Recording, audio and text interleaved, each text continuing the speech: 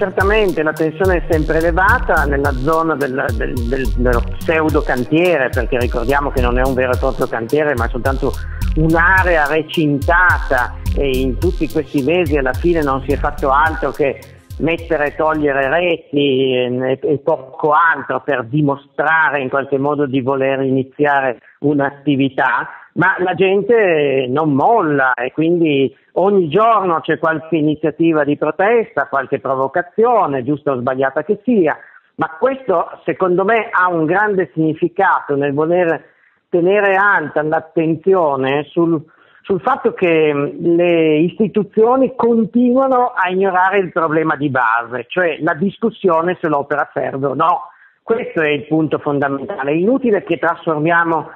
ogni giorno che c'è qualche scaramuccia in una questione di ordine pubblico. Questo verrebbe dopo. Prima bisogna affrontare la questione dell'opera. Serve o non serve? Quali sono i dati o meno a supporto di questa scelta? Quali sono eh, gli scenari economici pesantissimi che graverebbero sul Paese, peraltro in questo momento di estrema difficoltà? E dopo che si danno risposte precise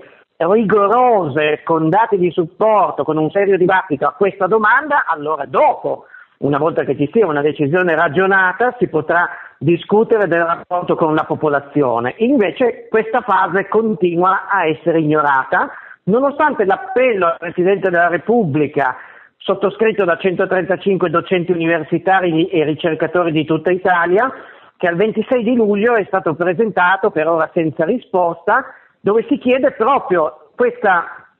analisi dei dati ormai come questione di metodo, non è questione ormai di eh, democrazia. Qui prima di tutto è una questione di metodo scientifico.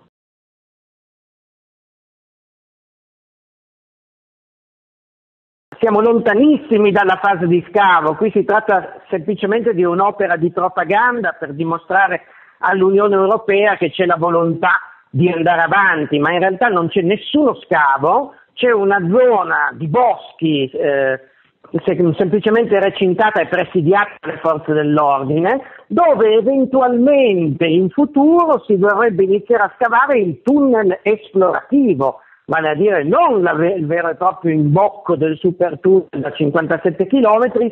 ma semplicemente un tunnel di servizio che servirebbe per verificare le condizioni eh, geologiche, geofisiche della, della, roccia che potenzialmente potrebbe essere attraversata dall'opera definitiva. Quindi siamo in una fase estremamente eh, così marginale della, della, dell'opera stessa, non è che qui si sta bloccando un progetto che è già partito e di cui si sono realizzate parti importanti, siamo veramente ancora alla fase delle cartine con una riga tirata sopra.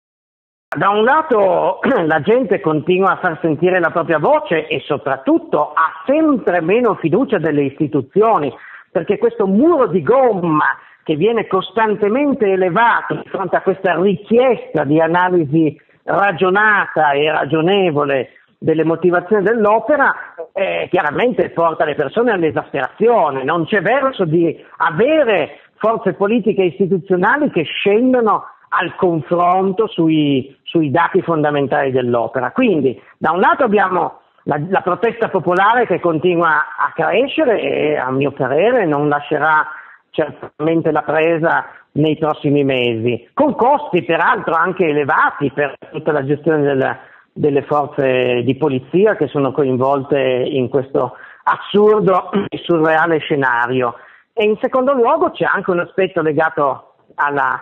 maturazione anche tecnica e,